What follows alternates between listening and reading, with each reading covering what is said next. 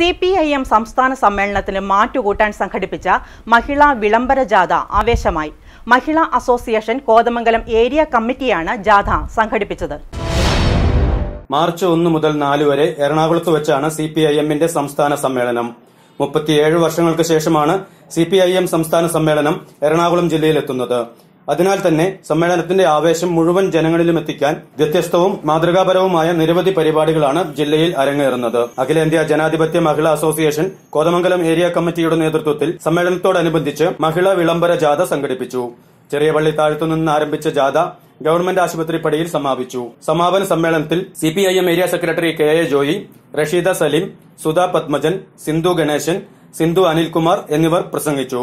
തങ്കമണി ബാബു മിനി ഗോപി സന്ധ്യ സുരേന്ദ്രൻ ഷീല അജയൻ മുംതാസ് റജി ബിന്ദു ജയകുമാർ താഹിറ സുധീർ തുടങ്ങിയവർ ജാഥയ്ക്ക് നേതൃത്വം നൽകി. Media sixty Kothamangalam.